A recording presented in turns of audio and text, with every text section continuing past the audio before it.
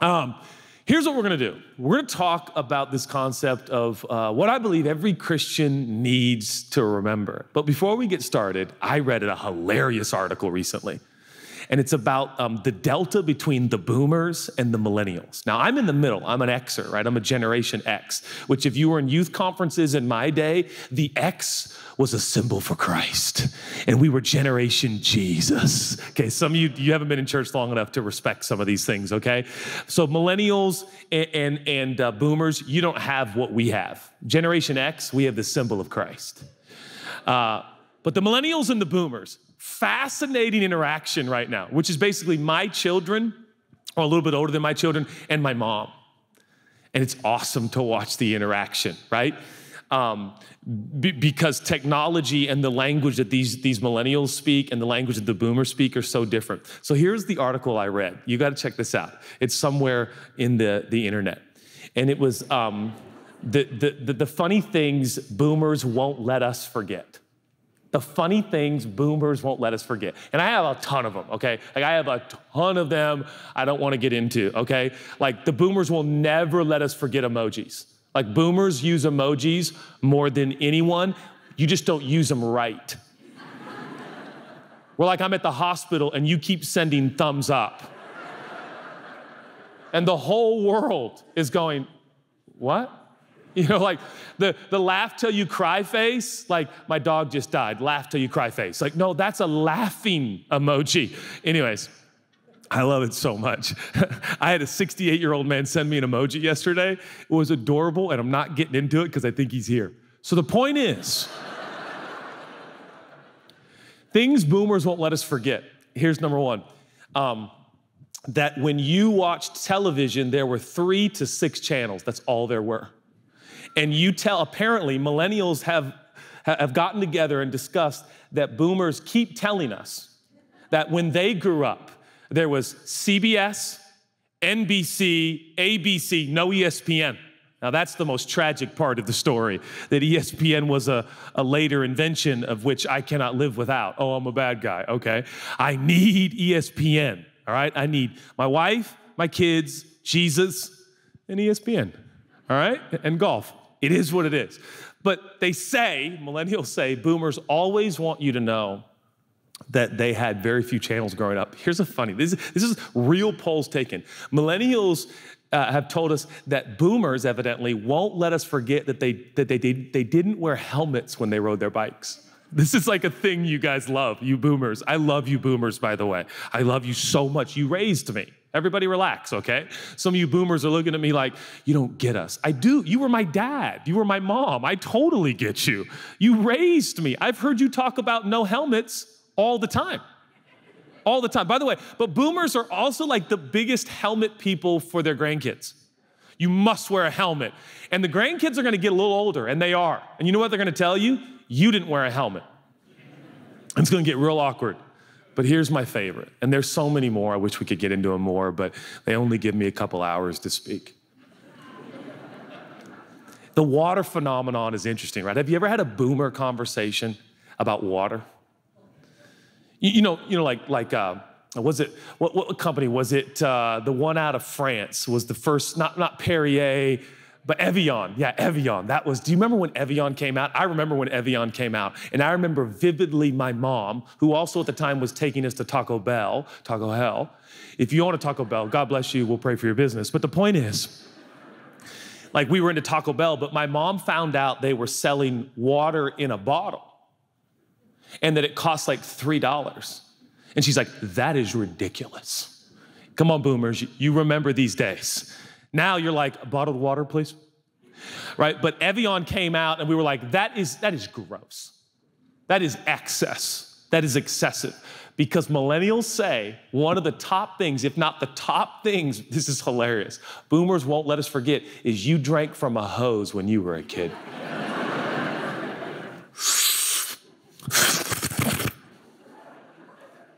what are you doing? Drinking water. right? And like, you still want all of us to drink out of a hose. And we're like, nah, this has good pH. I'll take this, you know? that one got me. I'll never, my dad, like, ah, you know, son growing up, we just drink from a hose. walk uphill both ways to and from school in the snow with no shoes. Dad, really? things boomers won't let us forget. Well, I hope today there are some things you never forget about the story of Jesus. Some things I think Christians are prone to forget, but should never forget. And of course, you, we must go back to the Hebrew narrative, right? You have the Hebrew Bible or the Old Testament as it's been called, which was simply a title given to it. God never called it Old Testament, New, New Testament. He called it, you know, an old arrangement relationally and a new arrangement relationally. To be honest, the Bible is old relationship, new relationship. It's the new way to live and the old way to live. I mean, that's what it is. The Old Testament, New Testament was a, a title we, we, we gave to it. The chapters and verses are what we gave to it to help us navigate uh, the different portions of Scripture. But don't get hung up on titles that were not given necessarily by God, but were given to us to help us understand the delineation and the difference. But really, its best way of calling the Old Testament is the Hebrew Bible, because it's almost uh, completely written in Hebrew, where the New Testament would be mostly Greek and some Aramaic. So, really, you have a, a Hebrew portion and you have a Greek and Aramaic portion, and one is one way of relating to God, and the other is now the new and only way to truly relate to God as revealed through the person of Jesus. Now, much has been made about the Hebrew scriptures, but I want to remind you as culture begins to grow and uh, the Hebrew scriptures come up under intense scrutiny because of what some people think is their inconsistencies, I want to remind you that our faith does not hinge on whether or not there was a real Red Sea. And I know you don't like that, but I love you enough to tell you the truth. Our relationship with God hinges completely and entirely on the birth, life, ministry, teaching, death, burial, resurrection, and ascension of Jesus Christ from Nazareth. That is our belief system. And so the Hebrew scripture is divine. The Hebrew scripture is beautiful. The Hebrew scripture is necessary, but it is important for us to understand that the way we relate to God is now different. The fullness of God has been revealed in the person of Jesus. Now, one of the overarching themes and overwhelming emphasis of the Hebrew scriptures is this idea of remembering, recalling, and revisiting the faithfulness of God. And that is one of the sacred practices of our journey in our belief system. And one of the reasons we gather, one of the reasons we gather in buildings, one of the reasons we gather in homes, one of the reasons we gather in parks, one of the reasons we gather in donut shops. You know that there are an owner of a donut chain, a national donut chain in this country, and, and they have uh, attached to Churchome to practice their faith. And these donut shop owners now are opening their donut shops on Sunday for people to come eat donuts, practice their faith with church Churchome and grow in their relationship with Jesus. So there are people in Kirkland auditoriums. Yeah, it's clappable. It's amazing. But there are people in donut shops in Jersey right now. And they too are practicing. One of the sacred practices that we hold is the remembering, the reviewing, the recalling, and the rehearsing who Jesus is, what he did, what he's doing. For what he did and who he was is who he is and what he's doing. He is the same yesterday, today, and forever. It is also, I believe, imperative for us in these unprecedented days where so much is seemingly in an upheaval. Even the constructs of our culture and society seem to be up under incredible scrutiny in today's era and age. I think it's all the more imperative that we go back to the first Christians. We go back to that day on Golgotha when Jesus hung there for six hours, suffocating in his own blood, and then was buried in a borrowed rich man's tomb and rose again on the third day like he promised. It's imperative that we go over this again. I've said it tongue in cheek before, but I did pick the best job available because my job is the job as a preacher and a storyteller and a speaker and a pastor. I get to stick to the same script every time we get together. How good is my job? I don't have to come up with anything new, and I like it. So I love people who email our church. Judah always seems to be talking about correct. And your indictment is actually, uh, it, it absolutely is like an award. So thank you for the emails. I wish Judah would not just talk about just the gospel story. Oh, it has only ever been about just the gospel story. Now, by revisiting and recalling the early Christians, we're going to discover something very powerful, and that is when the tomb was discovered empty, Christians completely changed. They completely changed. And I wonder if today we need to rehearse how they changed and why they changed so we also are changed. If you're like me, uh, I, am going to name drop, prepare with me. I was on a phone conversation with Bishop Jakes two weeks ago. I know, it feels great saying it. I'm going to be honest with you. TD Jakes, one of my heroes and board member here at Churchome. And so I called him. I always get nervous calling Bishop because I don't know, you know, what, what, what would he be doing? Am I interrupting, you know? And I called him. He goes, oh, actually, I was going to I was gonna use a different voice, but he's like, hello, man of God. And I go, hey, Bishop, how are you? You know, that's how it always sounds in my head when I hear his voice. And he's like, and what are you doing? And I'm like, I don't know. What are you doing? You know? And he's like, I'm driving in my car. And suddenly I'm like, that sounds so amazing. Where I'm like, ah, I'm just cruising around the streets, you know, like, and he's like, I have plenty of time, let's talk. And then I start to get breathy, okay.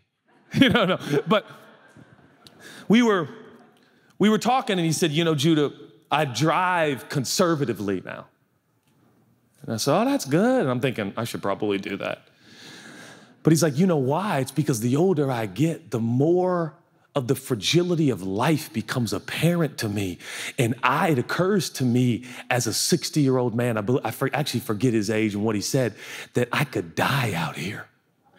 And I thought, isn't that what happens in our human existence? The older we get, the closer we get to death, and we start to think, forgive me for sounding kind of uh, brash, but we, we think I could die soon. And so, by nature, the human condition lends itself to fight death at all cost. So we get safe. We get safe. Now, you're not going to like this, and I'm not even going to go on record to say that I like this, but safety in Jesus are not always together not as we define safety. Eternal security, they always go together with Jesus. But convenience and comfort in your temporary human existence, that and Jesus are not always together. In fact, one could argue upon investigating his teachings and the trajectory of his life and ministry that actually it's quite the opposite, that with Jesus comes an inconvenience and an uncomfortability and a almost a necessity to depend on him every day for where he's taking you you've never been before. Now that sounds like Jesus.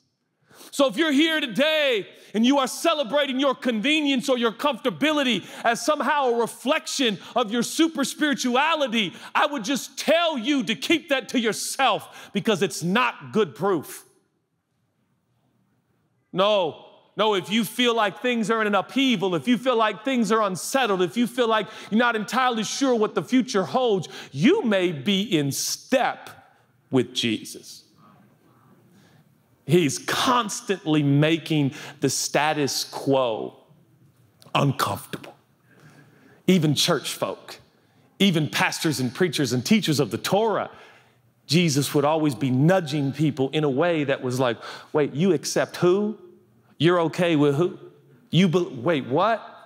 So today we have come together not just to remember, but by remembering, we do some changing.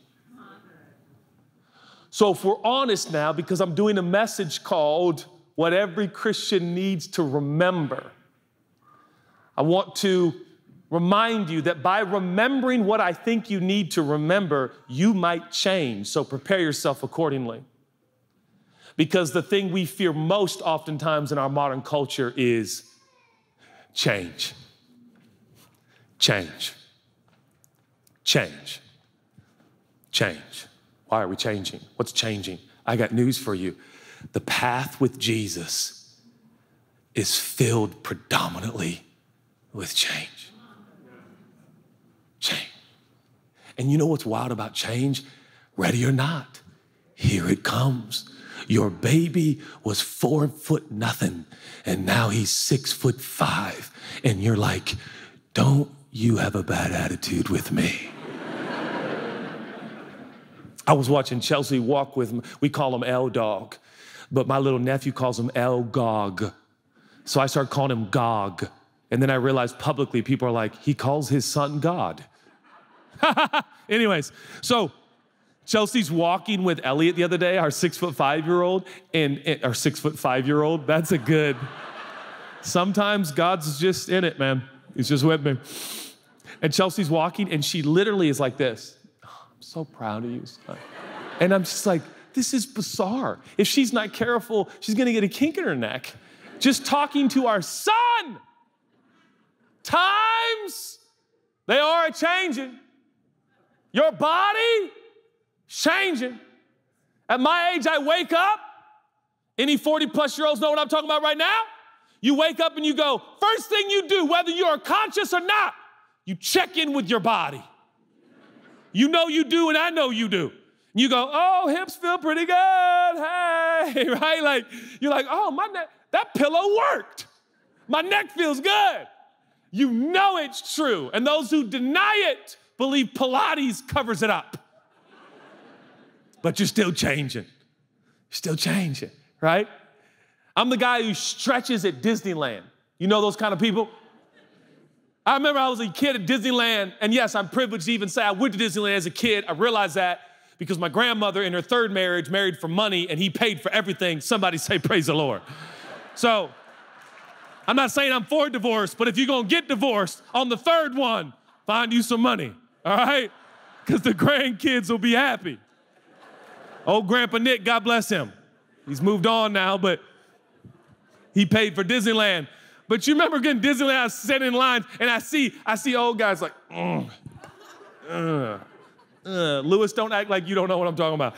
Uh, uh, right? And I'm like, what are they doing? Calisthenics in the line for like, you know, the Tomb Raider ride? But you know what's worse? Watch the same guy get off the ride and he's like, oh man, right? I'm like, the other day, the other day, like, Dad, we need to go like to Magic Mountain and the Matterhorn, like old school Disney. And I was like, both rides are off limits for me now at my age. Matterhorn, absolute nightmare. Never go. It is just like it was built in 1974, and everything is like a small collision. Everything. Imagine having a head on collision downtown Kirkland. That's the Matterhorn every turn, right? I can't even make it past the beginning of the ride. You know where they start and stop because somebody's not in? I'm like, oh, no, I got to get off. We're 30 seconds in. Son, get me off. Dad, the abominable snowman, he's not real. Jesus is real. I love you guys. None of this is in my notes. I don't have notes. the things we need to remember will cause change. So prepare yourself accordingly. They're going to adjust your priorities. They're going to adjust how you use your time and your money. They're going to adjust who you speak to. They're going to adjust who you give eye contact to. Yeah, yeah, yeah. Remembering Jesus can change everything. But I, I, want us to look at the first Christians, and, and here's what I want us to go. I want us to go to Silent Saturday. Now, I know Silent Saturday was yesterday, I know Good Friday was two days ago, but I, I want to talk about Silent Saturday because Silent Saturday and Supernatural Resurrection Sunday are quite different for the Christian. Silent Saturday reveals the nature of human beings, whether you believe in Jesus or not and that is we are prone to doubt and we are prone to be fearful and we are prone to preserve our life nearly at any cost. At any cost. I mean, I don't know what age it happens, but there's an age where when somebody says you look older, it's one of the great insults you could ever receive. But back when you were 12, someone's like, You look 24. And you're like, Yeah. I don't know when it happens, but it happened here a long time ago. The way you compliment me now is, Man, you look so young. And I'm like, Yeah, yeah. Right? Imagine being 43, someone's like, You look so old, bro. Like, that's never a compliment. So we avoid death, we avoid aging, we avoid looking like we're close to dying. Right? No one's ever looked at you and said, like, you look like you could die soon. Are you okay? Right? That's just things we put on the internet, but we don't tell. Oh, okay. Anyway, so we, we, we, we're, we're humans. We're very average, normal humans. And so if you give us enough time, we'll avoid death at all cost. So it was for the first Christians. They had spent a few years with Jesus and seen his teachings and witnessed his miracles, or at least heard of them. By the time we arrive at Silent Saturday, Jesus is gone, and guess where the Christians are? Now, here's where it gets interesting because as we zoom in on where the Christians are the day before Easter, it starts to shed light on why some of us Christians are where we are too. The evening the disciples gathered together, John 20, and because they were afraid of reprisals from the Jewish leaders, because they were afraid, because they were afraid, because they were afraid, because they were afraid. If you can't relate with the line because they were afraid, um, you are a clone and you must identify yourself. For the rest of us, because you are afraid, is hopefully something you can almost immediately relate to. What have you ever not done because you were afraid? What decisions have you made because you were afraid? What thing did you not do because you were afraid? What thing do you regret because you were afraid? What fell apart in your life because you were afraid? What do you justify now that happened in your life because, if you're honest, you were afraid. Well, if I put my list up on the, on, on the screens, it, we'd have to scroll because there's a lot. Here's all the things I've done because I was afraid. They had locked the doors. I also attached to that we lock our doors every night. You've heard me talk about this. I think it's a pretty comical thing. I'm gonna be honest with you. I think it's Schlage. Is that the company? Schlage is our most prominent lock here in the United States of America. And if you own Schlage, God bless you. We love you. But I don't think, what is it? Schlage? Chalet? Is that true? It's called chalet. What is it? French? Chalet? What's that? Chalet. I love you. We'll talk after. We're friends. the point is, like, like angry, you know? Thank you. Anyways, there's a lock company that we all, I can see the, the name and the writing, I just don't know how to say it. But I love how when we deadbolt, we're like, we're good. Last night, uh, you know, it's my job as the man to walk the house. And I came down, I noticed that the door to the garage, the chalet, was unlocked. It's a prominent company in this country. Amanda, how are you? She's from Canada, so I'm filling her in. So I noticed it was unlocked, and, and this is no word of a lie. I locked it, and something inside of me was like, my man. You know what I mean? No, you weren't there, nobody was there, but I locked it, and I was like, that's what I do. Protect the family. That's how I roll. Like, I'm so protective of the family, I'll put an old broom handle in the sliding glass door. Y'all know what I'm talking about? That's where I'm from. I'm not a millennial. I'm right after the boomers, and I still use the broom to keep the sliding door so the bad guys don't get my family. Say something. Y'all know what I'm talking about? Put the broom down and lock it. what am I? Safe we're the funniest people in the world. we're good. Like, we're not. We feel like we are, right? So I understand locking the doors. I do that every night. It's my thing. Why do I lock the doors? Because the whole family's afraid. I'm not. I trust the Lord. Kidding. I'm the biggest scaredy cat in the whole wide world. I'll be downstairs, downstairs, and our bedroom is upstairs. And Chelsea will go upstairs. I go, oh, where, where are you going? And she's like, I'm going to bed. I'm like, so soon? Should I come with you? and it's not for sex, it is often. But typically it's because I'm afraid. How could I be on the floor by myself? what shall I do? So I understand being scared, locking the doors. And it says, suddenly Jesus appeared among them and said, Peace to you. And so the story begins. But this, of course, is Resurrection Sunday, and they're still in the room, but Silent Saturday, they were in the room. And right after his death and burial, they were in the room, and that room was locked. In the room was the most prominent Christians on the planet. I'm gonna say it again. In that room were the most prominent, powerful Christians on the planet. In that room. Now, Paul wasn't there yet. He will be. We're gonna recruit him on the team. But for the time being, he was working with the opponents. But you got all the disciples. By the way, you have the women, and without the women, the church would have never worked. It was two women that were the first to testify of the resurrection. If not for women, we might still be in a locked room, by the way. But those Christians in that room, we now celebrate their statues of them, and there's cathedrals named after them, and we have commemorated them, and we call them saints. And you know what they are? Normal. And you know what they were doing? They were in a room and locked the door and hoped they wouldn't be harmed. And that's where they were. And so I put before you today this concept that it wasn't until they discovered for themselves that the tomb, in fact, was empty. Now, I gotta be honest with you, it doesn't hurt that Jesus walked through the walls and appeared in visible form. That's helpful.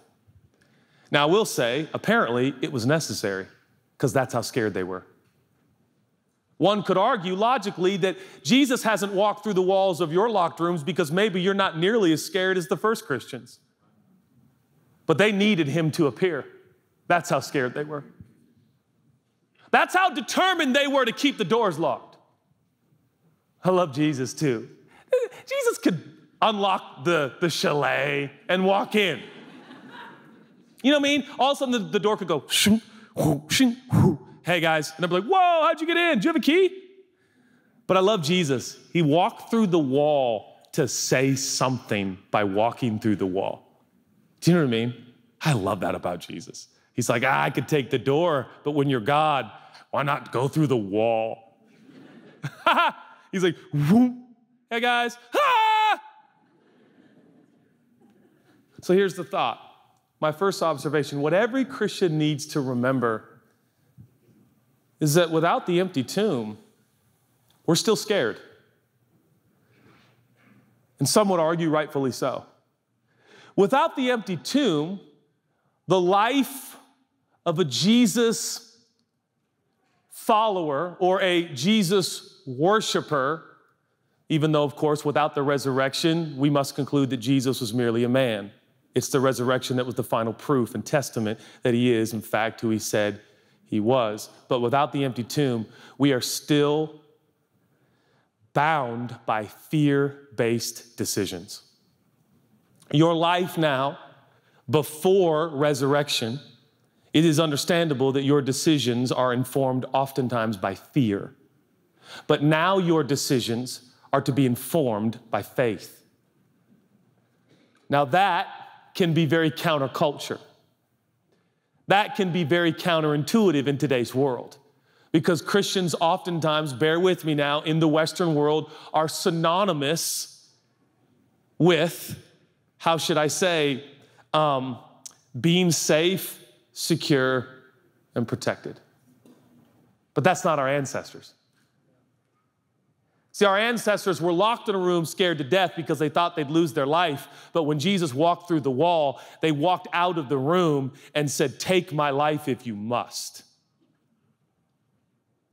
Oftentimes people ask, Why do you believe in Jesus? Because I don't think millions of people, or I should say at least thousands and thousands of people willingly give their life for a fraud.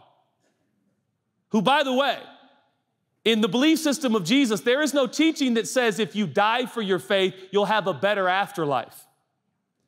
In the teachings of Jesus, whether you live in a castle and eat like a king your whole life or die at burned by the stake, if you believe in Jesus, you have the same eternity.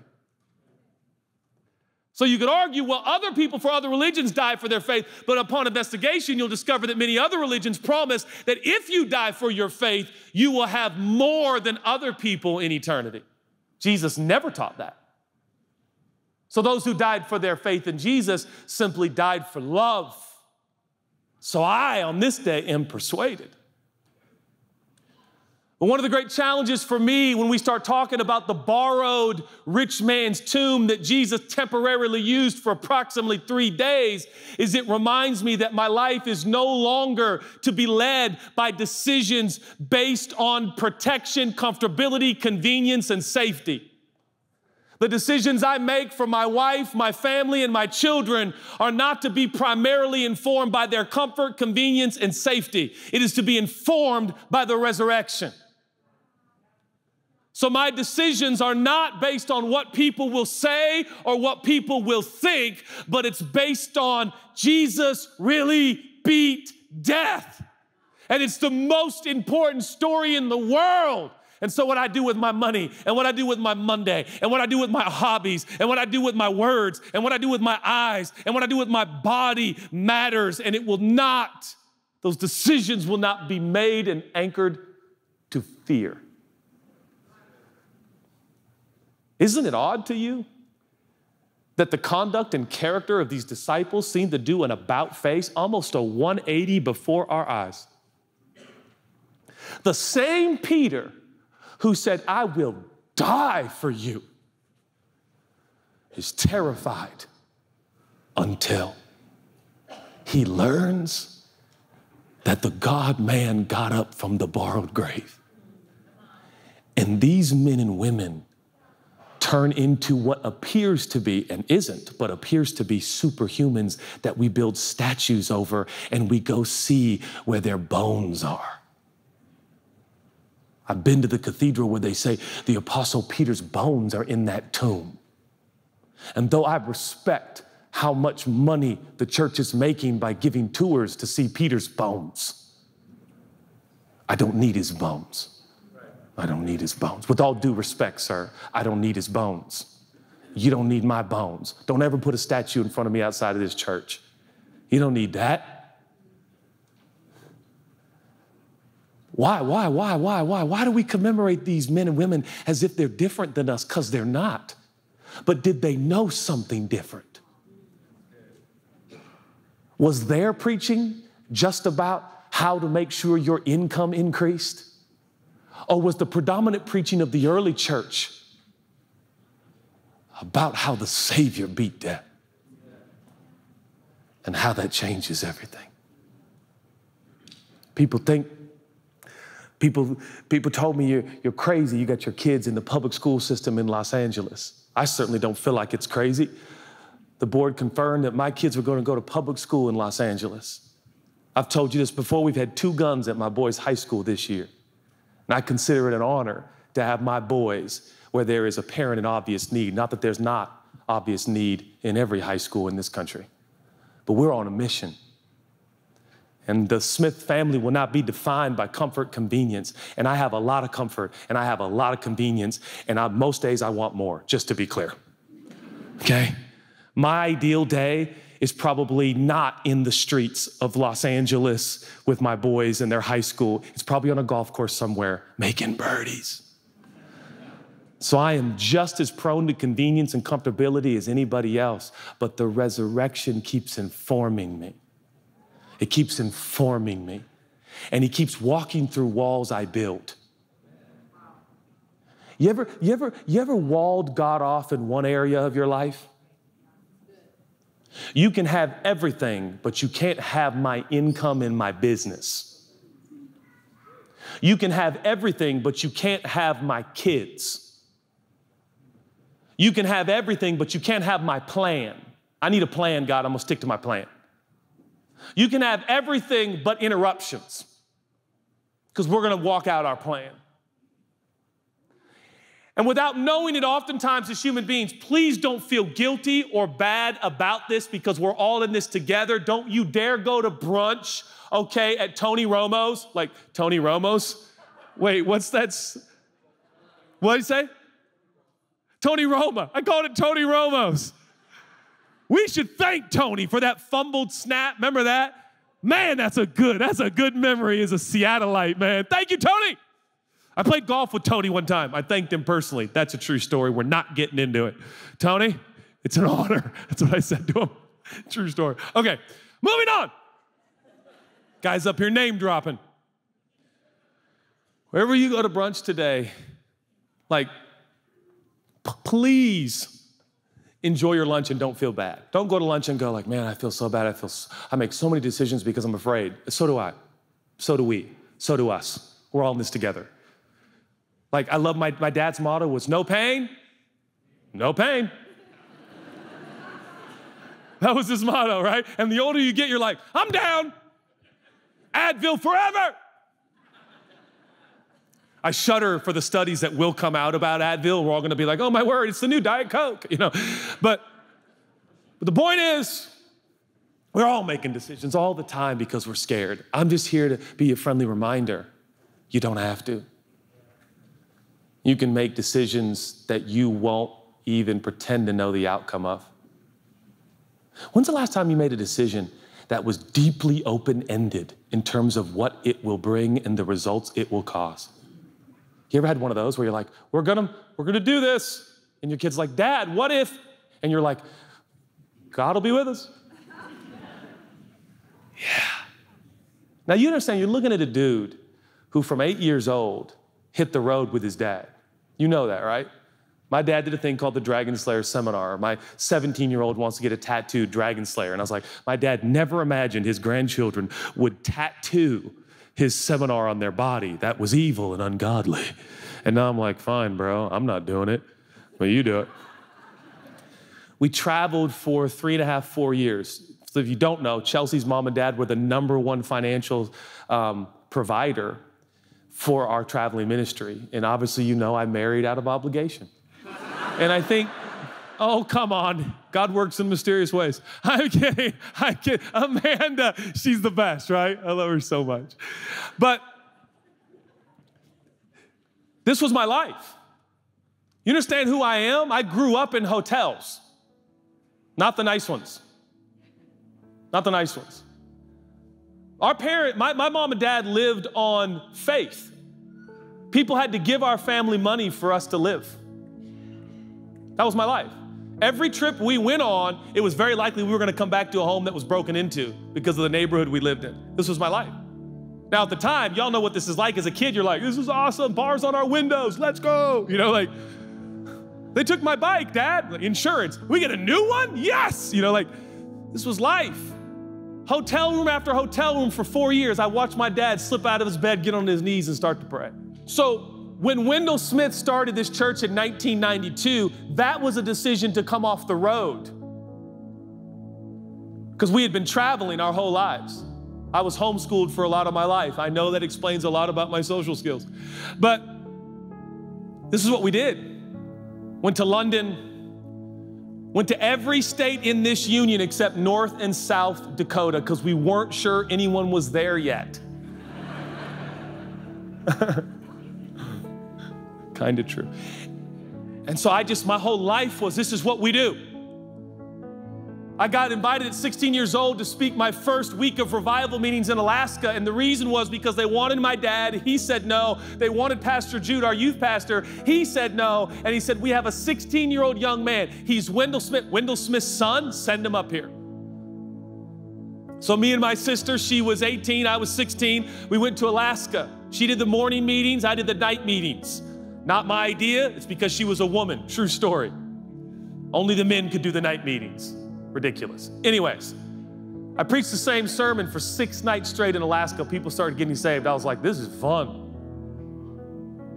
Started traveling full time when I was 19. Went to the craziest tent revivals, wild stuff. If I could tell you stories, crazy stories, deep in Canada, up in those islands up in Canada, it was awesome. My life was changed. So you understand, I was predisp- uh, my predisposition was to get out and get the message out. I was raised by an evangelist. We started a church, but it's in my DNA to take the message as far as it'll go. So this shouldn't be a surprise to you that the, the Churchome is changing. The goal was never to sit in a room, lock the doors, and make sure our lives were convenient and comfortable. It was always gonna happen. It was always gonna happen, right? It's like Michael Jordan gets drafted by the Chicago Bulls. If you watch him at North Carolina, I'm not talking about I'm Michael Jordan or Wendell Smith's Michael Jordan. I'm just talking about you look at athletes like you watch Tiger Woods as a kid, you're like, he's gonna be, he's gonna be good at golf. I see the trend. He's going to be good at golf. Watching the Kanye documentary. Have you seen Kanye as a kid? He's wearing clothes no other kids are wearing, talking like no other eight-year-olds talk, and you're like, oh, he's gonna probably you understand, I was raised by a preacher. I traveled state to state. All I knew was when you get touched by God and consumed with His story, you take it to the streets. That's what you do. So you have to know that it's in my DNA, in the DNA of my family, that we're not going to keep this on Rose Hill. Meanwhile, here comes the technological age that meets us at our age, and suddenly it's like, we could have a part in changing the world. I told the prayer team downstairs between services, they've known me since I was 13, that we're gonna have a church of millions in weeks. Last week, 569,000 people logged on to be a part of our community. In weeks, we'll be at millions. And then what I wanna do is I wanna build a technology that other churches can use and they can get to millions. So before we know it, we got churches of millions who don't depend on a personality in a room necessarily. Although this, both and, both and, both and, we're not doing away with this, it's both and. But the times we're living in are exciting. But please know who you have in this guy. I remember the time where honestly, we didn't have money because Chelsea's dad hadn't sent the check yet and grandma was still married to one of the poor guys.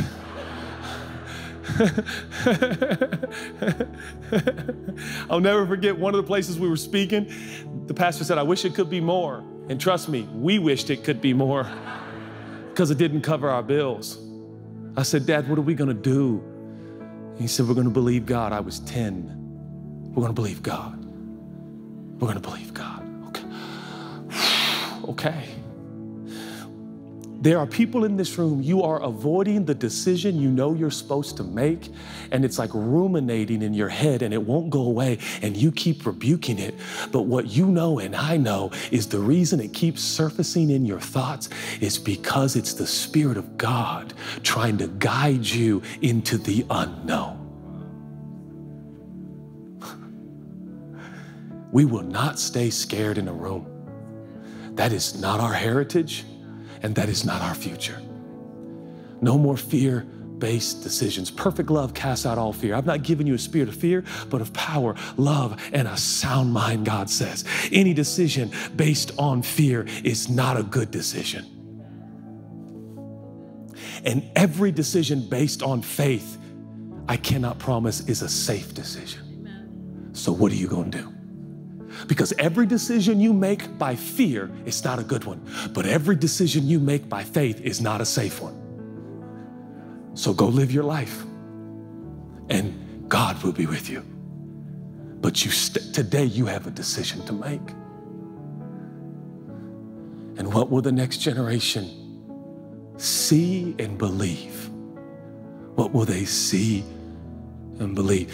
Uh, but the second observation, and I'm almost done I've already said it, but we don't have to stay in a room, and we won't stay in a room.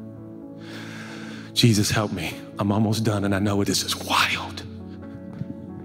When did the room become synonymous with the church? When did that happen? Because on Resurrection Sunday, Jesus walked through the walls to get his followers out of the room.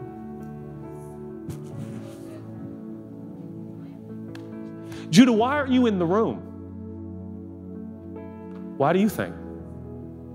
Because if this becomes what we are, we're not being true. This is not, this is where we gather to be equipped. And by the way, he still walks through walls, so we don't stay here.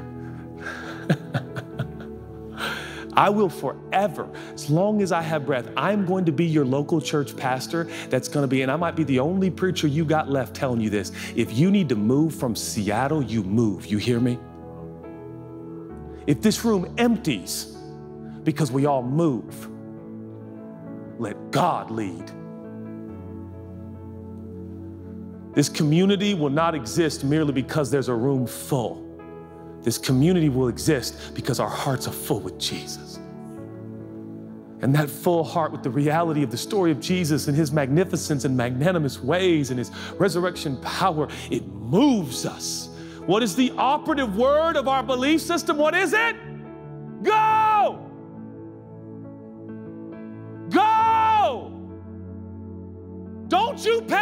The next generation. Stay when the word is go. And I yell because I'm happy and passionate, not because I'm mad and angry, just to be clear. it cannot, we cannot, we cannot, we cannot, we cannot pass the baton to the next generation. Stay comfortable, air conditioned big buildings, suburban America. Pastor preaching in the same room every week, just the way you want it. Yeah. Grammy award winning artists producing albums you love. Here, that's the.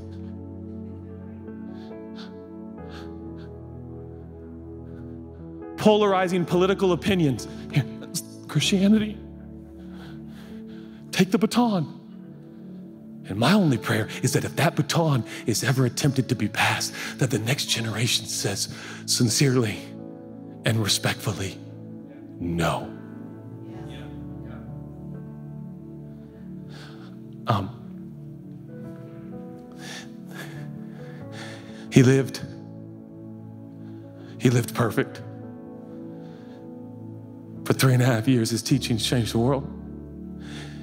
And then he died like the prophets prophesied 700 years before. And then he rose again like the prophet. And what he claimed, and he's alive, and the tomb is empty, and his spirit is in you and on you and among you. Now go, son, into the highways and the byways. Science teacher, you go to that classroom every day under the overwhelming sense that the divine has revealed himself in the person of Jesus and he's alive. You go to your classroom with purpose. Yes, sir. And may God be with you and keep you and cause his face to shine upon you. Thank you, sir. We need less preachers and we need more followers.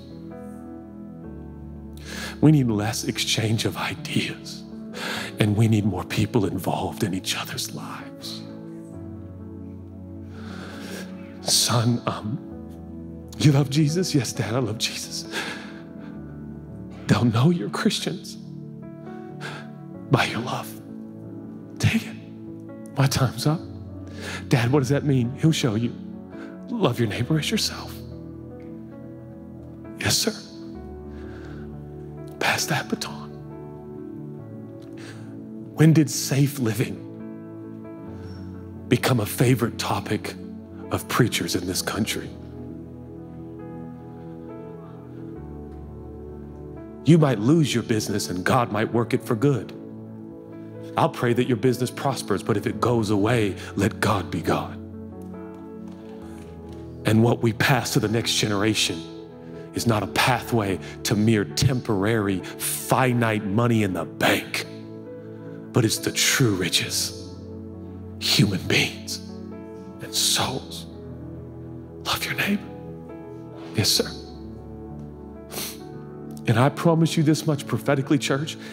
If the gathering in rooms ever keeps us from loving our neighbor, God will do a new thing. And He is. And He is. And the boomers and the Xers may not totally get it, but watch out. This next generation is going to think it's the norm. God is everywhere, and God can do anything, you know. And here's what I end with what every Christian needs to remember is we don't have to stay scared, we don't have to stay in the room. No more safe living, no more fear based decisions.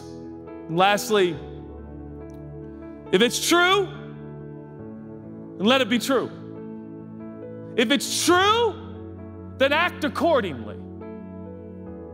I felt like God said the other day to me, He said, I want you to treat me like I resurrected. I want you to relate to me like I'm God. Think about all the things you'd say to God if God was with you and you knew it for sure. Right? That's why nothing is too difficult for God. But if He rose from the dead, the scripture says that in fact we are not pitiful people. We are people of purpose and redemption and forgiveness and power. If the resurrection happened, Churchome, act accordingly. Think beyond finite linear time and space. Think eternal. Listen to the one man who came from heaven to earth. Listen to his priorities. Listen to what matters. Listen to what he focuses on. Watch him care for humanity and act accordingly. Let opinions fizzle. Let the truth prevail.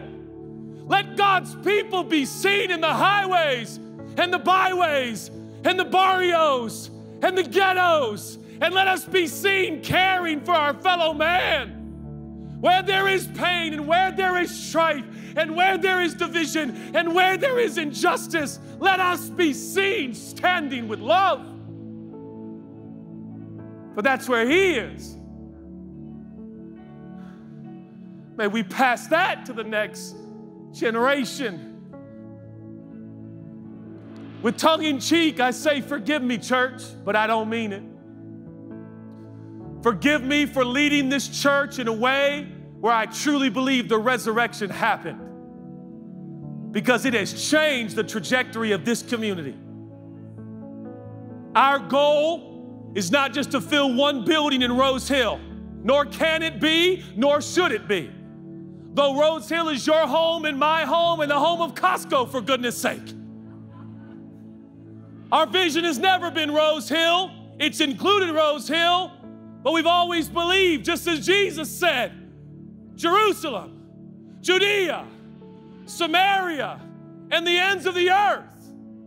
Forgive me for saying, I don't mean it tongue in cheek, forgive me for saying, but we are an ends of the earth kind of church. You hear me? We're an ends of the earth kind of church.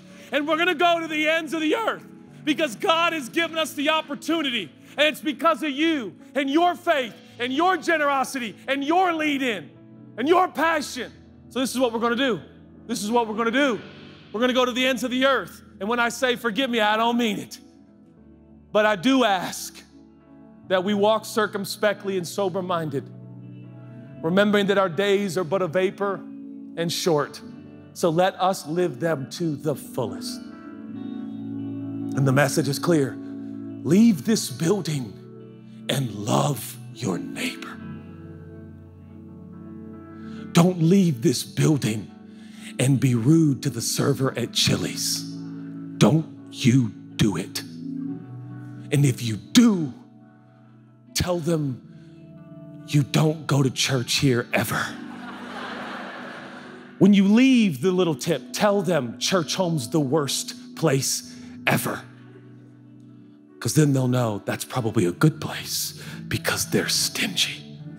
You're stingy, not us. A meme came out from the millennials, not the boomers. A meme came out, and it was a woman lifting her hands in church. And then she's at a brunch being rude to a server. And they and someone, one of my friends that doesn't know Jesus, sent me a text on a Sunday one time and he said, Happy Sunday. And I thought, my non-Christians friends get us better than I think. We will not leave this room scared. We will leave this room in love. Perfect love. You want to overcome fear? I'm done. I got to put the baton back. Amanda will never be able to sing. There we go. Sorry, I took your baton. The only way to overcome fear is not saying no fear. The more you talk about fear, the more fear becomes a part of, uh, of, of, the, of the program. You, you, perfect love, perfect love, perfect love, perfect love, perfect love, perfect love, perfect love. Jesus said, Look at the nail prints in my hands, look at my side. They said blood and water flowed out of his side because his heart burst. He literally died of a broken heart. It's actually scientifically proven when they pierced him, the blood and the water flowed, which is also a type and a shadow of the church that blood and water flow when something is birthed, and the church was coming out of his side. The church was coming out of his broken heart. Who is the church? Oh, it's not a building, it's not a parking lot, it's not a program, it's people walking and talking and living and loving with their neighbor. That's what the church is. And he died of a broken heart so he could give birth to your mission and your life and your path and your purpose. And then he rose from the grave to say, Everything I've said is true. Woo! So that's what we're going to do. And I get excited about it. And you know, there are some Sundays where I'm just at home now. You won't like this. And you know what I'm doing? Talking with my neighbors. And you know what's here? A video of me preaching. And you know what you can do? Understand why I'm doing it. Because I need to love my neighbor too. But if I'm too busy preaching every day of the week, then I'm only a preacher and not a follower. And these preachers are a part of the community too. This is my family and this is my church. I've been here since I was 13. You are my people. This is my home. I was not a preacher first. I was a 13 year old kid that Alan Stinnett was praying that God would do something with his life because he, he looked odd. Not, not Alan, I did. So you raised me. So understand, you raised me. This is my family. But I will not just be your talker. I want to be amongst you and living with you. And some Sundays, I can use a video so I can be home meeting my neighbors, throwing barbecues, and caring for them because that's a priority. Why don't you do it other days, Judah? Because people are home mostly on Saturdays and Sundays, church. So I'm the preacher who's saying, why don't you skip coming here sometimes? Maybe not Easter, we need to see each other. Why don't you stay home sometimes and fix a barbecue for your neighbors and pay for it all and see who comes? They all will. I won't tell you who, but recently a member of our church, they took a portion of their tithe and they bought a bunch of alcohol and a bunch of barbecue and they invited the whole neighborhood and they all came. Because who doesn't like free alcohol and free barbecue? What are we doing? We got to get out there. We got to go. We got to love our neighbors. And that's what we're going to do. I'm still here. I'm still your pastor. We're building the church. Jesus is winning. He's resurrected from the dead. The best is yet to come. The path of the just is growing brighter and brighter with the growing day. He came to give you life and life more abundantly. God is not dead. He's alive. He's with us wherever we go. Though we walk through the valley of the shadow of death, we will fear no evil, for He is with us. His rod and His staff, they comfort us. He prepares a table before us in the presence of our enemies, and surely goodness and mercy shall follow us all the days of our life. It is well with my soul, church. God is for us and God is with us.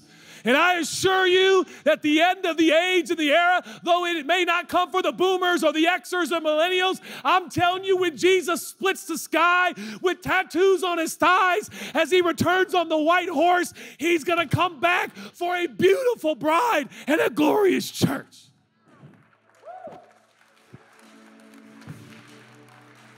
I'm done. Let's pray. Jesus, thank you. I don't, there's just like those words just roll so easily out of my mouth. Thank you. Oh, wonderful Savior, thank you for life, resurrection, new birth, new beginnings, new starts, new things. You are great and you are greatly to be praised. We love you. If you're here today and you say, Judah, I'd like to receive Jesus Christ as my Lord and Savior. I'd like to receive Jesus Christ as my superhero. Jesus Christ as the once and for all sacrifice. He who knew no sin became sin so that you can become the righteousness of God in Christ Jesus. If you want to receive this free gift, you don't earn it, deserve it, warrant it, you just accept it and receive it. If you want to receive that free gift of forgiveness that only Jesus offers on the count of three, whether you're watching somewhere in the world or right here in this room, I want you to lift your hand. One, two, three. You know who you are. Just shoot your hand up. Thank you, thank you, thank you, thank you. Hands going up. Thank you, thank you. We receive your forgiveness, Jesus. We receive your salvation, Jesus. You're everything we need. You're everything we want. We trust you and we worship you.